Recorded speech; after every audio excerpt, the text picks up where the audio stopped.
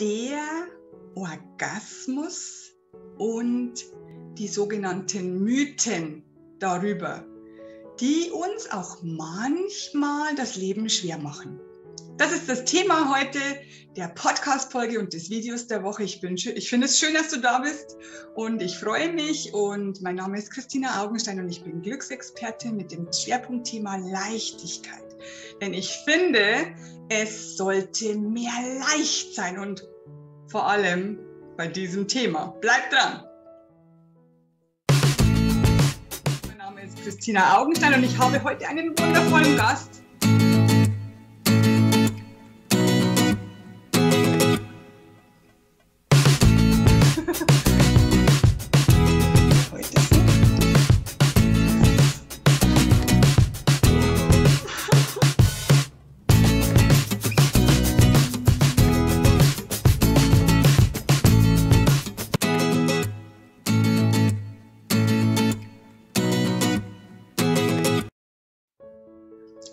Willkommen beim Video der Woche, bei der Podcast-Folge der Woche.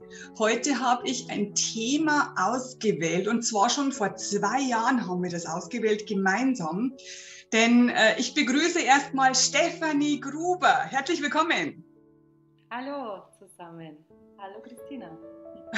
Ich finde es schön, dass du zugesagt hast, denn wir haben das, dieses Thema eigentlich schon vor zwei Jahren ungefähr, oder vielleicht ist es auch schon drei Jahre her, als wir unser erstes Video gedreht haben, haben wir das Thema schon gesagt, ah, das, da könnten wir nochmal ein extra, eine extra Folge machen. Und das haben wir jetzt endlich, endlich ist es soweit und wir haben es endlich geschafft. Ich freue mich. Ja, ich mich auch. wir haben ja, also ich muss jetzt erstmal sagen, du bist Gesundheitspraktikerin für Sexualkultur. Das ist ja schon wieder mal ein spannender Beruf. Ich muss mir den immer aufschreiben, der hat sich nicht geändert, weil, weil der für mich so schwer zu merken ist. Das ist ja ein super spannender Beruf. Erklär uns noch mal ganz, ganz kurz, um was es da bei dir geht. Ähm, ja, in meinem Wirken begleite ich Frauen und Paare zum Thema ähm, ja, Sexualität. Und es geht, es geht vor allem um körperorientierte ähm, Sexualcoachings. Ähm, da möchte ich heute auch mehr sagen, weil das ganz wichtig ist für eben den, den Körper zu fühlen, den Körper zu spüren, zu spüren, wie fühle ich mich, wenn ich mich selbst berühre. Und das ist alles ganz, das ist alles ganz wichtig auch für ja, den Orgasmus. Absolut, absolut.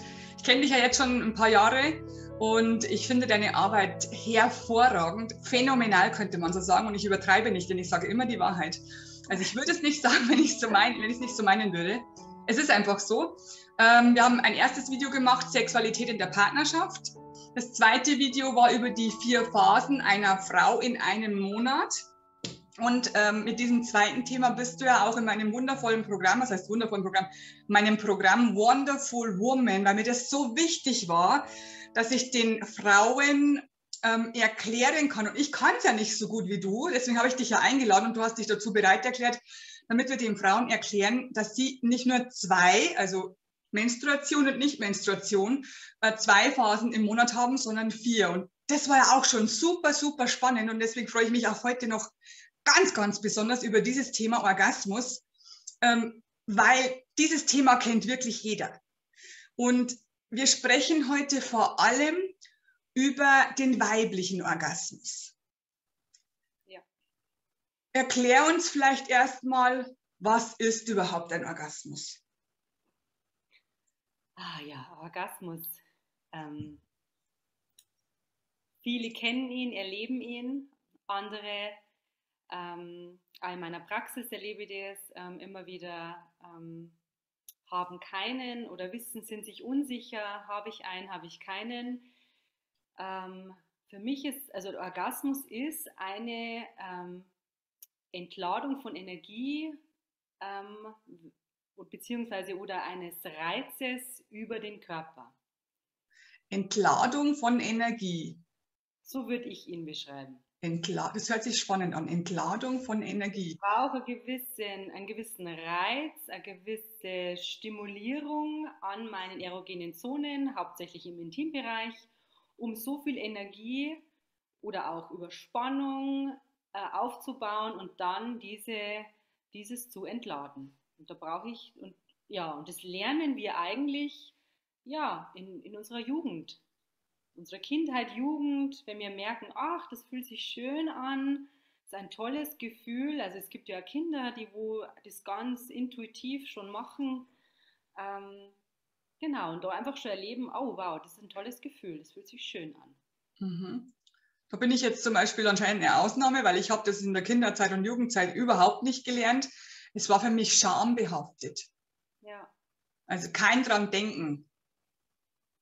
Ja, ist oft ein großes Thema. Mhm. Also wir sprechen halt auch nicht drüber und Genau. auch nicht oft nicht mit anderen Frauen darüber, wie, wie machst du es? Es wäre so eine so interessant, wie, wie, wie erlebst du deinen Orgasmus? Wie fühlt sich's an? Ähm, ja, mit Freundinnen darüber zu sprechen. Also ich kann da die Frauen nur einladen oder auch mit dem Partner darüber zu sprechen, mit der Partnerin, was, ja, wie fühlt sich's an? Ja, genau. Nächste Frage ist, also ich habe ja jahrelang nicht drüber gesprochen, ähm, auch als ich schon erwachsen war, weil ich ja sagen hätte müssen damals, ich kenne keinen Orgasmus, ich kenne das nicht. Hätte ich nie mit irgendjemandem gesprochen drüber, dass ich mich hier offen zeige, dass ich keinen Orgasmus, weil es ist ja ein, es ist ja ein Fehler in meinem Kopf, irgendwas stimmt nicht mit mir. Genau. Was sagst du dazu? Ja, ich habe ähm, immer wieder erlebe ich in, eben in meinem Wirken, dass Frauen zu mir kommen und ja, sie haben keinen oder nicht oder sie möchten gerne einen anderen. Dann gibt es immer noch das Thema klitoraler Orgasmus, vaginaler Orgasmus. Ähm, welcher ist jetzt der richtige, welcher ist falsch? Und ich sage immer, es gibt kein richtig und kein falsch. Okay. Also das ist mal das Allerwichtigste. Und dann ist einfach zu schauen, ja, wie, wie machst du es denn? Wie berührst du dich selbst? Und das ist eigentlich jetzt so, da haben wir jetzt schon mitten im Thema. Glaube ich auch. Wie, wie ist es mit dir in der Selbstliebe? Mhm. Beobachte dich. Wie machst du es? Und da möchte ich jetzt gleich mal ähm, aus dem Sexo Corporal ähm, die vier Modi der Erregung würde ich gerne erklären. Okay. Weil sich da bestimmt die Frauen oder die Menschen, die wo das anschauen, einfach wiederfinden. Mhm. Und zwar, es gibt den ersten äh, Modi, das ist der archaische Modus. Und dieser archaische Modus wird über Körperanspannung erzeugt. Also die es sind ein Drittel, also meistens sind es Frauen, ein Drittel aller Frauen kommen so zum Orgasmus. Und sie spannen ihren Körper an, pressen auch oft die Beine zusammen oder drücken ähm, ein Kissen oder irgendetwas gegen ihren Genitalbereich. Und über diese Spannung lösen sie diesen Orgasmus aus. Mhm. Dieser Modi, also es gibt hier kein richtig und falsch. Man kann alle diese Modi ähm, leben, beziehungsweise hat man sie irgendwann sich angeeignet in, im Laufe des Lebens. Ähm, aber dieser Modi hat einfach Grenzen, weil wenn ich jetzt zum Beispiel mit einem Partner, einer Partnerin zusammenkomme und dann kann ich oft diesen Druck nicht aufbauen oder diese Beine zusammenpressen. Jetzt nehmen wir nur mal, stellen wir uns nochmal vor, die Frau ähm, hat ähm, Verkehr, Geschlechtsverkehr mit ihrem Partner, er ist in ihr drin. Schon kann sie diese Spannung, wie sie es aus ihrem Modi gewohnt ist, einen Orgasmus auszulösen, nicht machen. Mhm. Was passiert? Kein Orgasmus. Genau. Weil es der Körper nur so auslösen kann, so gelernt hat. Mhm. So, dann kommt der zweite Modi, das ist der ähm, mechanische Modus. Der entsteht über Ruppeln, Reiben mit der Hand am Genital. Das ähm, bevorzugen meistens Männer, aber auch Frauen. Da gibt es bei den Frauen oft also eine Mischung zwischen diesem ersten mit Spannung und Reibung. Mhm. Und ja, da wird einfach über diese Reibung am Genital, das wird so lange gemacht und der Körper angespannt, bis ähm, ja, der Orgasmusreflex sich auslöst. Mhm. Ist alles sehr genital, sehr kurz, mit sehr viel Spannung und mit, ja, meistens wird auch der Körper dabei nicht bewegt, es wird nur die Hand bewegt. Mhm. Dann gibt es den äh, dritten Modus, das ist der ondulierende Modus. Das sind auch wieder oft Frauen, die bewegen ihren Körper, können diese Erregung wirklich im Körper verteilen, spüren überall die Lust. Es ist schön, sie haben äh, wirklich im Körper präsent. Ähm, aber am Schluss fehlt dann oft die Kanalisation. Also diese Frauen beschreiben dann oft, ich kann keinen Orgasmus. Also ich, ich fühle Lust in meinem ganzen Körper, es ist super schön, aber ich habe keinen Orgasmus. Okay. Und dann kommt der vierte Modi, das mhm. ist der, man sagt auch im Fachjargon die doppelte Schaukel. Mhm. Also diese, da geht es um diese Bewegung vom Körper, also dieses Schaukeln, Schaukeln vom Becken im unteren und oberen Bereich.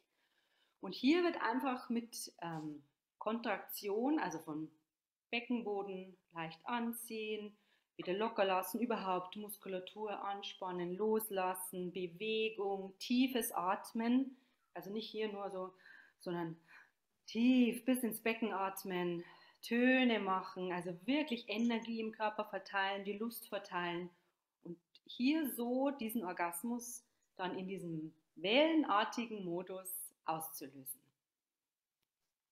Sehr, sehr spannend. Diese vier Modi, kann man die nur alleine machen oder kann man die nur mit Partner machen? Also man kann die alleine machen. Also mhm. die meisten Menschen haben ihren ersten Orgasmus mit sich selbst alleine. Mhm. Es ist da einfach wichtig zu, zu gucken, wo komme ich her. Mhm. Ich muss mal jetzt kurz weg, zehn Minuten. Ja. ähm, wo komme ich her? Wie mache ich es mit mir alleine? Das ist mhm. so eine ganz wichtige ähm, ja, Frage, um zu schauen, wo, wo, wo stehst du im Moment und wie machst du es zu zweit. Mhm. Und dann kann man, und, und jetzt kommt eben das, dein Körper lernt. Dein Körper lernt durch Berührung, dein Körper lernt durch Wiederholung. Ähm, und da kommt zum Beispiel mein, mein Wirken ins Spiel. Eben durch dieses körperorientierte Coaching, durch Juni-Massagen, durch Frauenmassagen, durch Atemsession ähm, begleite ich die Frauen wirklich dahin zu spüren, ja, wie, wie mache ich es? Wie und was, wo kann ich, wo ist die, wo, wo kann ich noch was anderes lernen? Also wo beginnt für mich, ah ja, hier fühlt sich gut an, das ist schön. Ähm, und wie mache ich das dann mit mir alleine? Eben diese Beckenschaukel gebe ich total gern weiter an die Frauen, um erstmal ganz ohne Lust und Erregung, erstmal, dass der Körper lernt, sich zu bewegen, vor allem auch in der Sexualität. Ganz, ganz wichtig. Ja. ja. In der sexuellen Sexualität mit dir selber, aber auch mit dem Partner. Also das mhm. ist ganz, ganz wichtig. Mhm. Zu atmen und vor allem zu fühlen. Und dann ja. gibt es natürlich auch noch im Kopf die Barrieren. Ich bin nicht richtig, ich brauche viel zu lange, da möchte ich, möchte ich hier gleich mal sagen, als eine Frau braucht zum Orgasmus mindestens 20 bis 40 Minuten. In, ich sage jetzt mal normal, weil für mich normal ist wieder so eine, eine Norm, aber es ist also ein natürliches Zeitfenster, was es braucht. Okay. 20 bis 40 Minuten ist normal, also ja. durchschnittlich.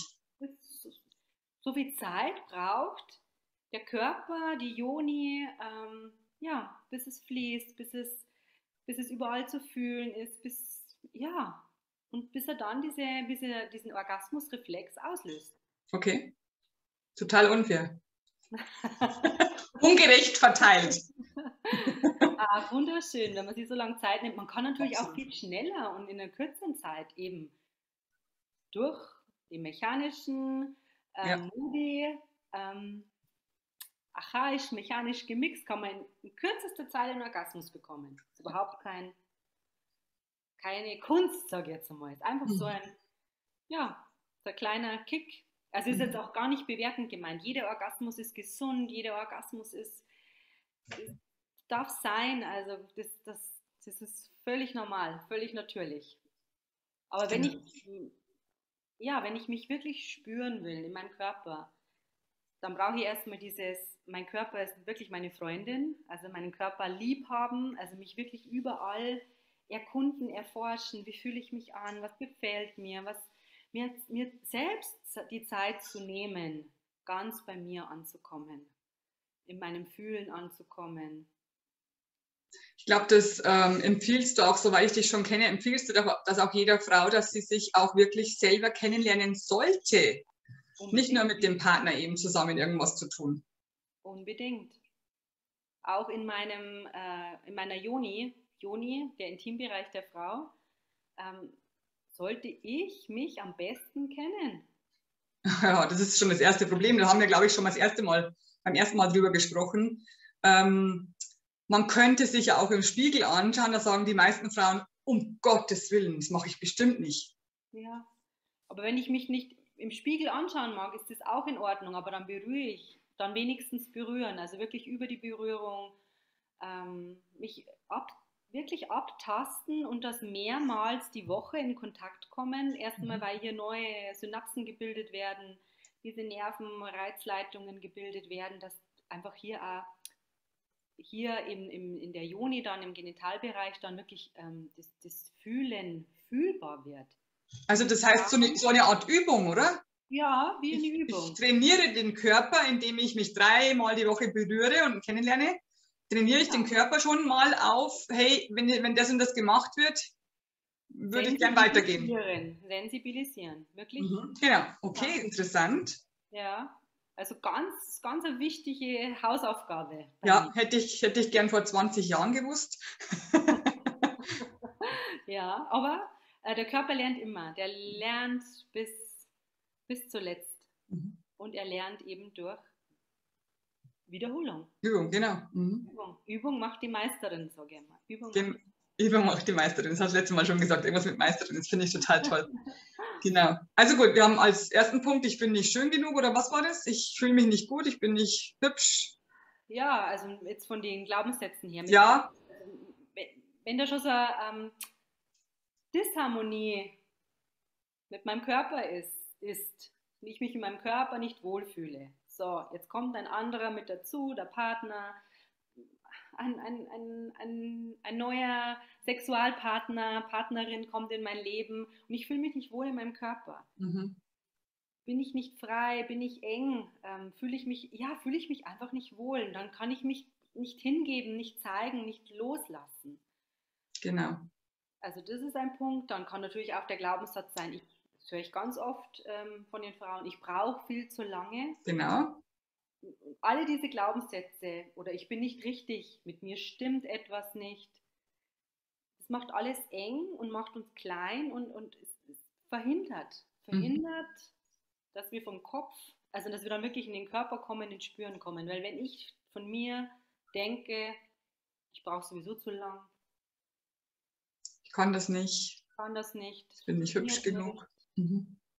Dann bin ich, also wenn ich das jetzt übersetze, dann bin ich im Kopf und denke die ganze Zeit irgendwelche negativen Gedanken und dann kann ich nicht in den Körper kommen. Es geht einfach nicht. Ich kann mich nicht hingeben. Komm nicht ins Körper spüren. Genau. Ich komme ja, genau. nicht an. Mhm. Dann lasse ich es, ich sage jetzt mal zugespitzt, dann lasse ich es einfach über mich ergehen. Mhm. Ja. Ja, kenne ich äh, sehr, sehr viele Kundinnen von mir, die das wirklich so sagen. Ja. Ich lasse es, oder auch frühere Freundinnen, ich lasse es über mich ergehen. Dann habe ich gesagt, um Gottes Willen, echt jetzt. Aber es, es ist so, es ist Normalität. Es ist so. Das machen viele, viele Frauen. Ja, immer wieder höre ich auch. Ja, so schade, weil ich finde, der Orgasmus, also ich habe mal gelesen und es hat mich sehr getroffen in einem wichtigen, für mich sehr, sehr wichtigen Buch, habe ich mal gelesen, dass der Orgasmus ähm, so sehr wichtig ist für, für dich als Seele oder für dich als Mensch, weil du bei diesem Orgasmus, ich muss es sagen, ob ich doch zusammenbringe, weil wenn du die Gefühle des Orgasmus hast, dann bist du dem Himmel näher als sonst gar nicht. Ja, Hast du es auch schon mal gehört? Ähm, für mich also wir sind ja auch Energie, wir sind nicht nur physischer Körper, wir sind energetischer Körper, wir haben Chakren, wir haben ein Energiesystem, wir haben ja unseren Geist, unseren Mind, unsere Gedanken, wir sind, ja, wir sind auch Seele. Und ähm, ja, jetzt, jetzt stell dir vor, dein Körper wird berührt, das ist wunderschön, du atmest tief, ähm, deine Energie ist im ja, ist in Bewegung. Ist in Bewegung. Entweder mit dir alleine oder mit jemand anderem zusammen. Es ist jetzt mal ganz egal. Und dann ist noch ein größeres Energiefeld. Ich spreche jetzt mal mit dir alleine. Deine Energie ist in Bewegung.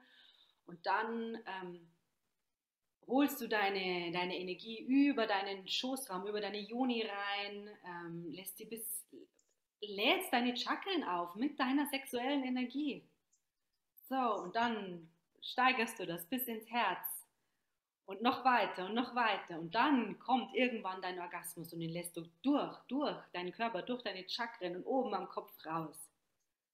So, und dann liegst du da, du vibrierst. Es ist alles glückselig. Glücklich. Genau. Bliss. Genau. Glückseligkeit, absolut. Absolut kann ich nachvollziehen. Es ist so. Und, es ist ja, so. Und auch hier ein Verständnis dazu, dafür zu bekommen, es ist viel mehr als dieser physische Körper und doch so eng mit ihm verbunden. Mhm. Es geht nur über den Körper. Mhm. Er ist unser, ja, unser Tempel. Genau. Ja, genau. Ja. Was gibt es noch für Mythen über den Orgasmus, wo du sagst, das wäre jetzt noch wichtig? Ach ja, dieses, immer dieses Trennen klitoraler, vaginaler Orgasmus. Aha. ist jetzt besser. Ich habe mal ein Klitoris-Modell dabei. Darf ich es zeigen? Ich glaube schon. Also mir macht es nichts aus. Schau mal, das wäre jetzt eine Vulva von außen. Und viele, wenn über Klitoris sprechen, sprechen über diese kleinen, kleine Perle hier, diesen kleinen Knopf. So, aber die Klitoris ist ja viel größer. So. so. Sieht man das? Oh ja.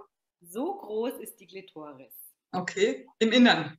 Im Innern, das ist das kleine, die kleine Perle, wo außen zum Vorschein kommt. Hier den Schaft spürt man oft. Und das hier alles, diese Schenkel, dieses Schwellgewebe liegt innen. Okay.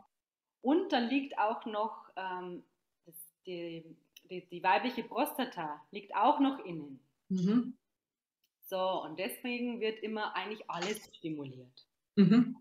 Wenn ich mich jetzt berühre außen an der, an der Vulva und hier zum Beispiel zwischen meinen Lippen mich streichle, außen, also hier so dazwischen, da berühre ich im Inneren bereits die Klitoris mit, also mhm. die Hose, alles, die ganze Klitoris. Und auch wenn, wenn ich Finger nach innen gleiten lasse, wenn ein Penis nach innen kommt, berührt er ja alles. Okay.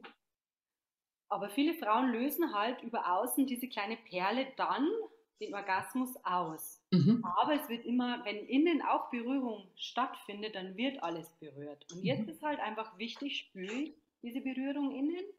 Mhm. Spüre ich das? Wie fühlt sich's an? Oder spüre ich es noch nicht? Mhm. Weil ich kann ja über diese Berührung alles aufwecken. Wie wir ja vorher gesagt haben, ich lerne, mein Körper lernt durch Wiederholung. Mhm. Ja. Genau. Und dieser Mythos, ob der jetzt klitoral oder vaginal ist oder ein äh, an der Cervix, also am Muttermund hinten ausgelöst ist oder über den A-Punkt. Moment, Moment, stopp, zurück. Was heißt denn, was heißt denn an der Cervix hinten ausgelöst? Ja, da gibt es auch einen Sexualpunkt hinten an der Gebärmutter? Ja, Gebärmuttermund ist für viele Frauen auch so ein, ein Lustpunkt, der wo. Das wusste ich noch nicht. Wo Frauen Orgasmen ähm, oder tiefe Lust empfinden und auch hier den, den Orgasmus dann auslösen können oder spüren, dass dann die Gebärmutter auch so Kontraktionen macht. Okay. Ähm, ja, also Aha. Jeder, jeder, ist willkommen und ich würde nicht mehr trennen, ähm, habe ich jetzt einen klitoralen oder einen vaginalen, sondern ich würde den Orgasmus feiern, so wie er kommt. Und, Absolut. Und mehr der, der, der Weg dahin ist das Ziel, also dieses mhm. Ziellossein und wirklich spüren. Mhm. gehört Nähe mit, mit mir selbst. Intimität entsteht, wenn ich mit mir, mir selbst ganz nah kommen, komme. Mhm. Dieses intime Gefühl mit mir selbst und umso näher ich mir selbst komme, umso näher ja, kann ich dann mein Gegenüber auch spüren. Genau. So, dann hast du nicht vom berühmten G-Punkt gesprochen, sondern vom A-Punkt. Was ist denn ein A-Punkt? Der A-Punkt ähm, ist ähm, oberhalb vom Muttermund, Richtung Bauch, anterior fornix, findet man auch mittlerweile auf Wikipedia. Schön beschrieben. Okay. ja, also es kommt alles ähm, in die Öffentlichkeit. In die Öffentlichkeit, genau.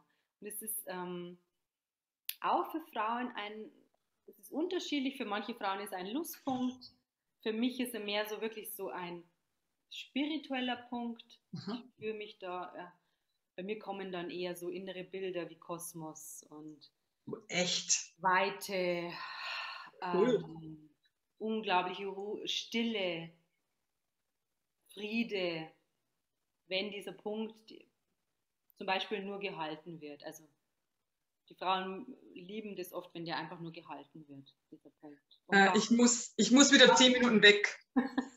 und, ja, um dir selbst wirklich ganz nah, Mhm. ganz Okay. nah. Okay. Der A-Punkt. Interessant, von dem haben wir noch nie gehört.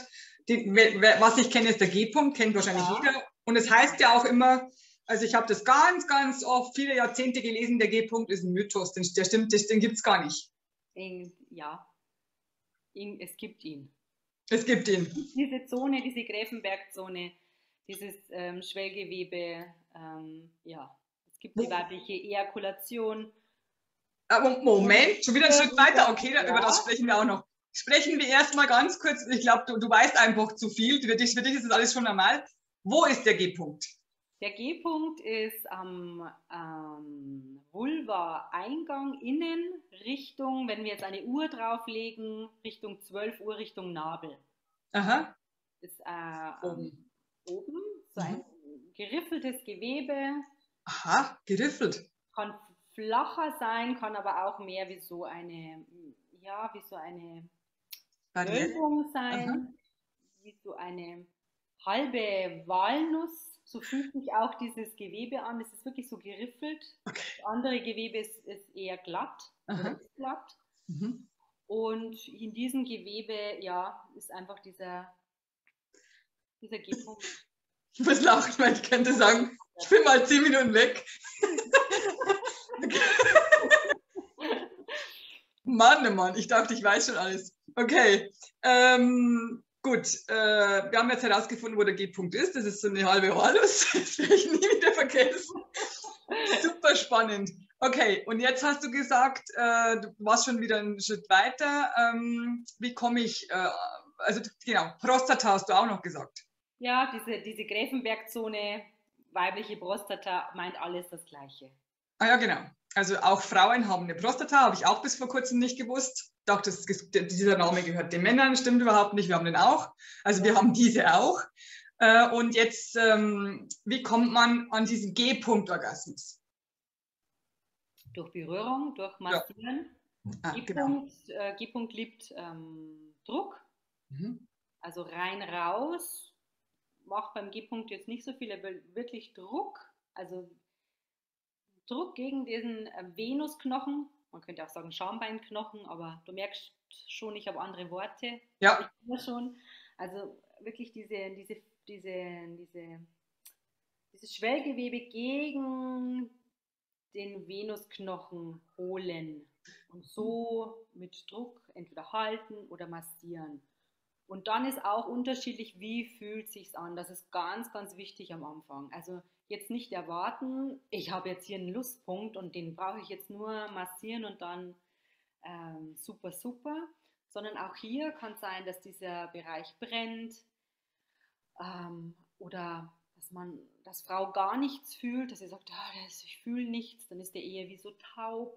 Und dann mag dieser Bereich aufgeweckt werden. Und der braucht eben auch, wie die restliche Vagina oder Vulva im Außen, Vagina im Innen, Berührung, immer wieder Aufmerksamkeit, immer wieder Massage, Berührung, dass, Gibt's der, dass der wach wird. Okay, gibt es irgendwelche Stellungen, wo ähm, die nicht so gut funktionieren für diese Punkte? Also für den G-Punkt ist zum Beispiel, wenn die Frau oben ist, Mhm. eine gute Stellung. Okay.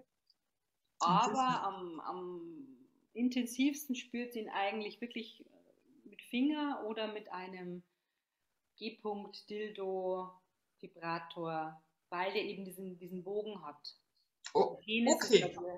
ja, Okay, die Biegung. ja. Die Biegung man macht's. hinter den Knochen. So. Genau, weil, weil man den G-Punkt ja irgendwie an, den, an das Schambein drückt oder so hast du gesagt. Ich habe es mir gut gemerkt. Genau. Mhm.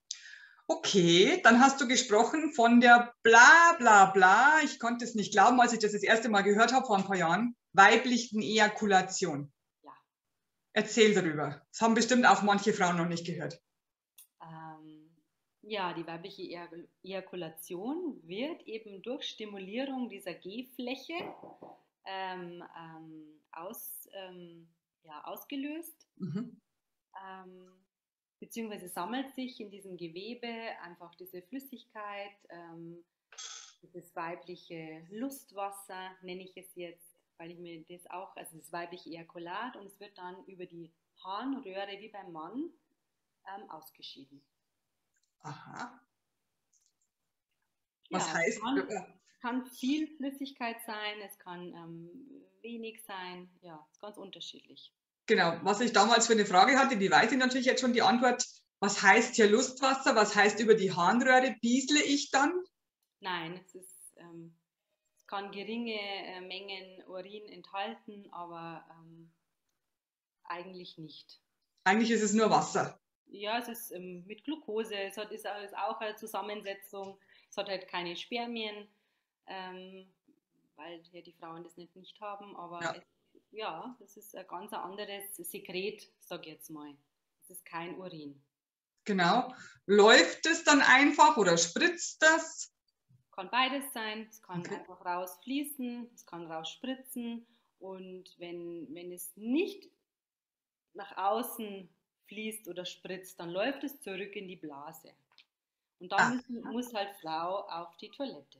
Ganz genau. ja, genau. Ja, genau. Dann geht es automatisch mit der Blasenentleerung weg.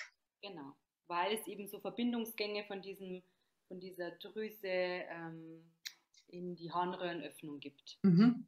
Genau. Sonst über die Harnröhrenöffnung. Also nicht, über die Vagi nicht über die Vagina. Ja, genau. Okay. Weil da wird auch vielen Frauen äh, ein Licht aufgehen, war bei mir auch vor vielen Jahren. Ich dachte mir, ach, genau, ach, ach, das und das. Also sehr, ich habe schon so viel von dir gelernt. Ist wirklich toll. Aber ich habe heute schon wieder was Neues gelernt. Das ist echt der Hammer. Okay, ähm, welche Mythen gibt es noch? Ach, welche Mythen? Was haben wir denn noch für Mythen?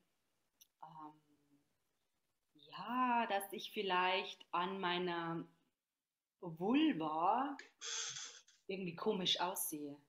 Oh ja. Also das sind auch Mythen. Jede Joni, jede Vulva ist einzigartig.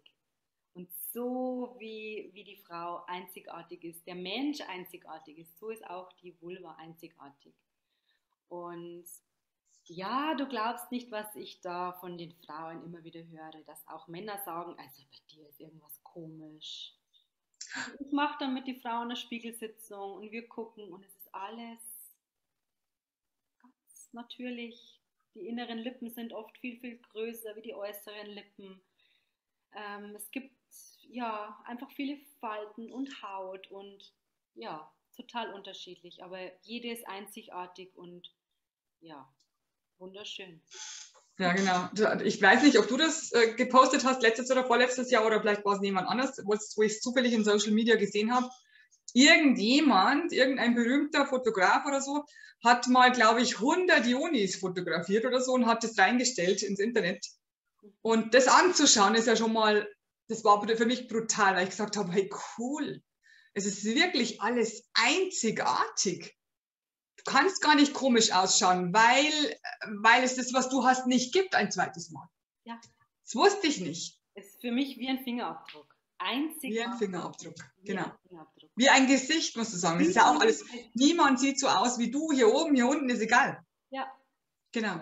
Das, hat, das war für mich auch spannend. Das war für mich auch so ein, ah, interessant, super interessant. Ja, ich habe einen super Kalender von Vulva Versity. 365 Tage, jeden Tag eine andere Vulva. Super. Genial. Passt natürlich zu deinem Beruf, ist ja klar. Ja. okay. Ähm, ich glaube, wir haben schon fast alles besprochen, was es dazu, was es dazu besprechen gibt. Also ich, äh, ich kann üben an mir, ähm, wenn ich es mal kurz zusammenfasse, damit wir nichts vergessen. Äh, es gibt verschiedene Orgasmen, die sind alle in Ordnung. Es, es gibt keinen richtigen, keinen falschen. Es dauert bei den Frauen einfach viel länger als bei dem Mann, also durchschnittlich. Ähm, ähm, alles ist in Ordnung, so wie es ist. Es gibt verschiedene Punkte, die man stimulieren kann, innen und außen. Ah ja, genau, da fällt mir jetzt noch was ein. Es gibt natürlich auch Traumata, die verhindern, also nicht nur der Kopf, sondern Traumata, die verhindern, dass ich einen Orgasmus habe. Kannst, kannst du da noch ein bisschen was erzählen, vielleicht mit Beispielen? Ähm, ich möchte von mir etwas erzählen. Mhm. Ähm, und zwar, also ich hatte wirklich, ich hatte so einen Glaubenssatz. Mhm. Und mein Glaubenssatz war, kein Mann macht mir mehr einen Orgasmus. Oh Gott, da bekomme ich jetzt Gänsehaut. Und das kommt einfach aus meiner Geschichte, ähm, sexueller Missbrauch als Kind, ähm, als Jugendliche noch. Und ja, da habe ich mir, da habe ich es verboten. Und körperlich mit mir war es nie ein Thema, aber mit meinem Partner war es lange, ja, wenn ich nicht selbst mit berührt habe, konnte ich ihn nicht auslösen. Das war mein persönliches Trauma. Und wenn das, wenn das dann bewusst wird, kannst du mit diesen, also ich habe dann eben auch unglaublich viel in diesem Bereich mit mir selbst gearbeitet, sei es ähm, ja, über Körperarbeit, sei es über Gesprächstherapie. Und mein Körper konnte es, nur mein Ich wollte es verhindern. Und mhm. ich mich dann wirklich aufgemacht habe, sind unglaublich viele Tränen geflossen. Ähm, es hat wirklich Geduld mit mir selbst gebraucht, bis ich es mir erlaubt habe. Und ich erlebe immer wieder, wenn Trauma im Körper ist und es, es braucht dann oft ja erstmal Verständnis dafür, unglaublich viel Achtsamkeit dafür und von dir selbst die Erlaubnis, dein eigenes Ja finden und mit diesem, immer wieder mit diesem Ja gehen, mit der Freude gehen, mit den schönen Gefühlen gehen, die wo dann auch entstehen. Ja, weil es, es ist, ja, sonst kommst du da nicht drüber, durch, wie auch immer. Ja. Stefanie, vielen Dank, dass du den Mut hattest, diese Geschichte zu erzählen, weil ich habe auch tatsächlich auch viele Kundinnen, wie du natürlich auch, äh, die solche sexuellen Missbrauchserlebnisse hatten in der Kindheit, in der Jugendzeit und die blockieren total. Ja, ja. Alle, nicht nur das, sondern alles. Und ja, da braucht es einfach diese Achtsamkeit und ja. Entspannung. Mhm. Genau, Vertrauen. Vertrauen, das ist mich, mich sicher und geborgen fühlen in mir selbst. Mhm. Ich habe zum Beispiel mit Frauen eben genau für diesen Bereich, da habe ich so auch so vier Phasen, so habe ich so eine Art ja, Orgasmus-Training, möchte ich es mhm. möchte nennen. Mhm. Eben wirklich, wie wir jetzt besprochen haben, wo ich erstmal die Anatomie meiner Joni kennenlerne. Mhm. Theorie. Sitzung. Die Theorie, wie schaue genau. ich aus, wie bin ich, wo ist, wo ist was, wie fühlt sich's an? Und dann mhm. eben gibt es immer wieder Übungen für zu Hause mit dazu. Und in, in der zweiten Phase dann eben wirklich Beckenboden, Beckenschaukel und unbedingt Entspannung. Wenn ich angespannt bin, wenn ich ähm, wenn mein ähm, sympathisches System ähm, einfach auf, auf Spannung ist, dann, dann will mein Körper ähm, fliehen oder, oder sich wehren. Ähm, und dann ist, ist oft auch dann in diesem, wenn wirklich Trauma da ist, dann ist oft diese Anspannung so groß. Und dahinter liegt oft eine Emotion und die kann dann nochmal gefühlt werden und das löst sich dann. Und dann kommt wirklich diese Entspannung und dann beginne ich mich sicher und geborgen in meinem Körper zu fühlen mhm. mir selbst zu vertrauen. Mhm. Und wenn das passiert, dann kann ich auch mit meinem, dann kann ich mein Ja finden mit meinem Partner, mit meiner Partnerin, weil ich mir selbst so sehr vertraue, weil ich hier in meinem Körper zu Hause bin. Schöner Satz. Und das sind wie viele Phasen? Vier Phasen machst du da mit einer Frau? Ja, genau. Die dritte ist dann eben auch nochmal wirklich zu ähm, Atem und Stimme mit reinzunehmen, diese Gefühle auch zu fühlen. Und die vierte Phase ist dann wirklich auch Joni-Massage, wenn die Frau dann bereit ist, oder Frauenmassage. Man muss nicht ein bisschen in den Intimbereich gehen. Ähm, aber in diesen vier Phasen begleite ich eben die Frauen wirklich hin zum Orgasmus. Wunderbar, wunderbar. Schön, dass du diese Arbeit machst. Wirklich sehr, sehr wertvoll. Vor allem für die Frauen. Ja. Wirklich. Ähm, was bei mir äh, vor vielen Jahren ähm, rausgekommen ist bei einer Sitzung, es war, dass ich ein Geburtstrauma hatte. Also und zwar nicht meine eigene Geburt, sondern die Geburt einer meiner Kinder war so ein Trauma und das hat bei mir alles blockiert. Ja. Kommt bei dir auch öfter vor, oder? Kommt öfter vor, ja. ja. Alles, was halt mit, den, diesen, mit, dem, mit dem Genitalbereich zu tun hat. Genau. Alles, was damit zu tun hat. Manchmal auch nicht, nicht aus diesem Leben. Also wirklich, ich habe dann schon, dass die Frauen sagen, also irgendwie habe jetzt meine Mama da, meine Oma, irgendwie ist das, ja, alt. Mhm. du trägst es nur mit. Und es kriegt dann, es bekommt dann diesen Raum, diesen achtsamen Raum und es wird gesehen und auch die Mutter wird gesehen, die Großmutter wird gesehen und ja, und da passiert unglaublich viel Heilsames. Ja, das ähm, glaube ich.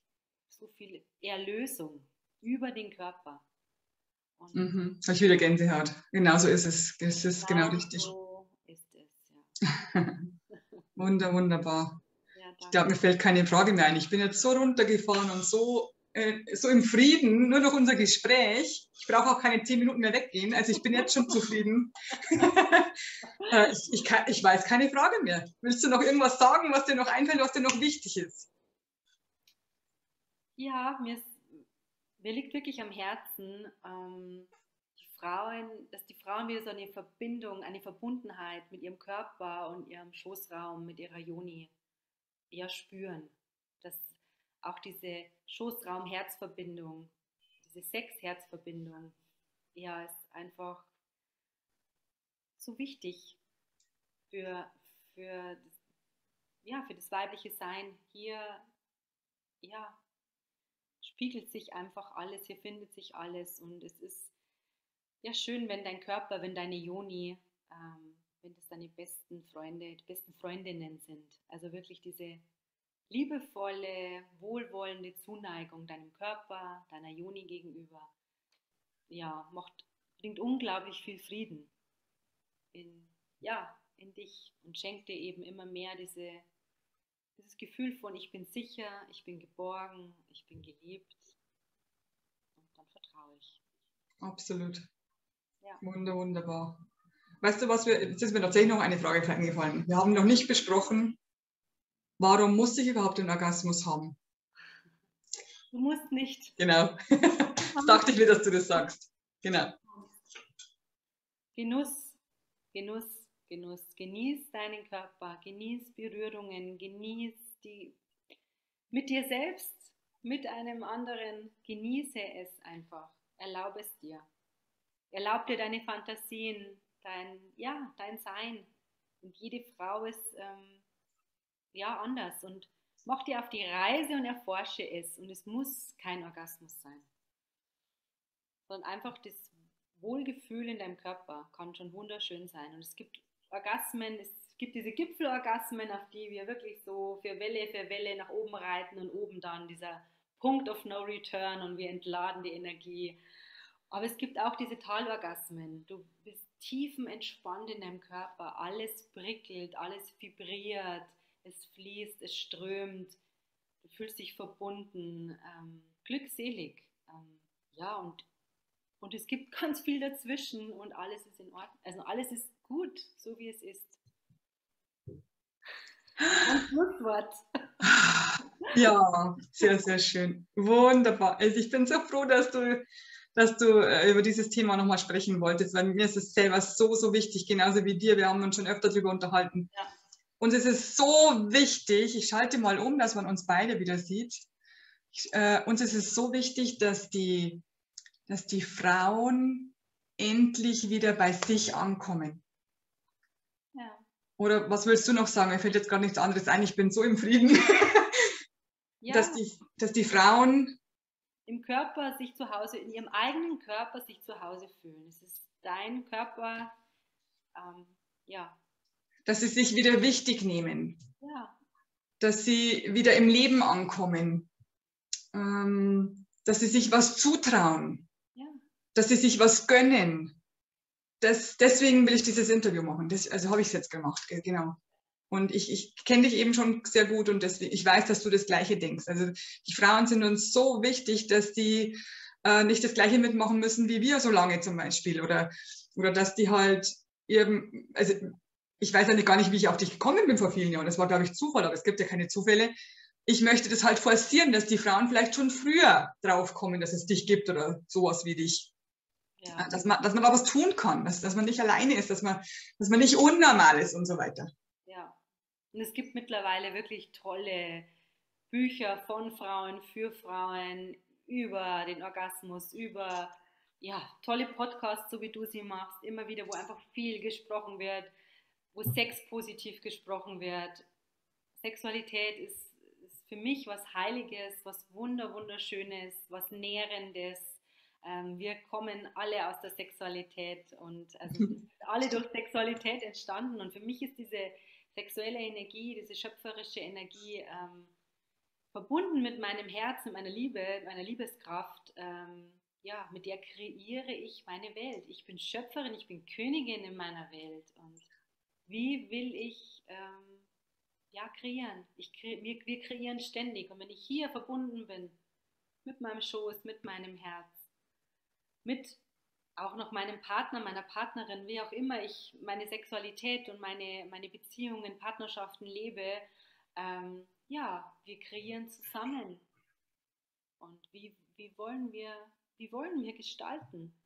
Und es ist dann einfach total wichtig, dass auch alle Gefühle, die wo, dass wir die Gefühle nicht mehr bewerten in positiv und negativ, sondern dass unser Herz hat so viel Raum, so viel Kraft. Kann alles fühlen und alles darf da sein. Und es ist auch wichtig in der Sexualität oder in der sexuellen Begegnung, dass ja, Emotionen, Gefühle da sein dürfen. Gefühlt werden möchten. Gefühle wollen gefühlt werden. Ja, das sage ich auch. Wasser will gespürt werden. Und ja, es ist, ähm, ja. Genau, und wenn du jetzt äh, dich fragst, ja, aber wie soll ich das dem Partner erklären, dann schau dir unser erstes Video, unser erstes Interview an. Ich verlinke es darunter. Dann kannst du gleich mal sehen, wie kommuniziere ich mit dem Partner, wie kann ich das schaffen, dass ich dem Partner das alles mitteile. Also du, ich verlinke einfach alle drei. Also unter diesen natürlich die zwei noch dazu. Und wenn du noch tiefer gehen möchtest, dann äh, gehst du einfach in mein Programm Wonderful Woman und, und, und hörst dir noch das Tiefergehende an, dann kommst du noch einen Schritt weiter.